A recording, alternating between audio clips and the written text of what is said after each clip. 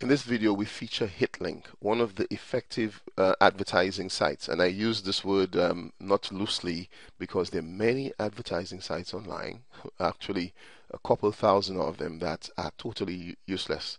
HitLink is definitely not one of them, as our conversion rates are pretty good.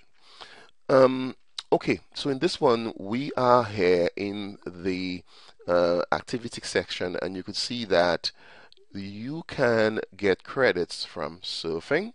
Okay, 500, you can see 500 credits here. You can see that even from logging in, I get 100 credits.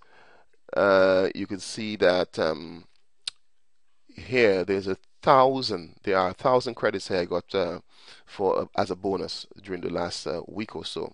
And referring a person also 5,000. Okay, and from promoting, there are also other credits you will get. Now what we want to do today, so guys, I, I do I do advise you to go ahead and, and take action and just by taking action you're getting credits here. And those credits you can apply to your banners and your websites and your text ads.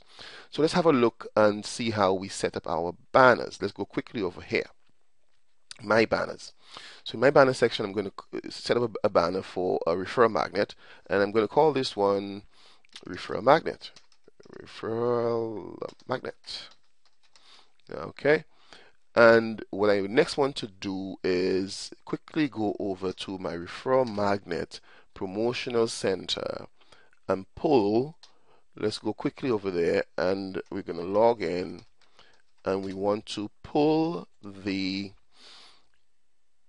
uh, URL. So here we are. I want to, this is my link where I want to send people when they click my banner. So I copy the link and then we go back to HitLink here and the the URL we're promoting is um, banner target URL. The target one would be this one here.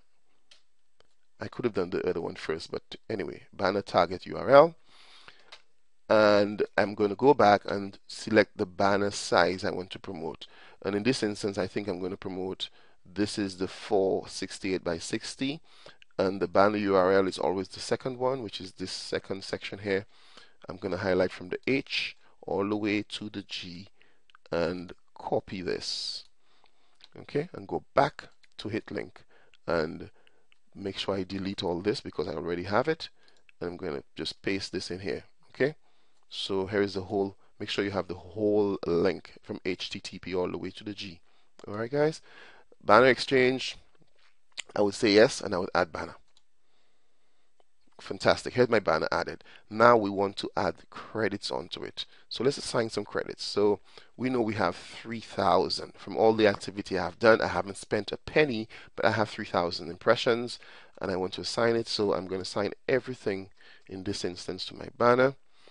3,000 and an assign to banner. Let's see here you have uh, hit the, the sign. So where are we now? So here we have our banner and it's waiting approval actually. So nothing can really go on here until it's been approved. And after it's been approved, we go back and we assign the 3000 credits. Okay guys? It's as simple as that. You will get an approval message from HitLink and at that point you go back into your back office and you go here and assign the credits to the banner. Have a great day. Bye bye.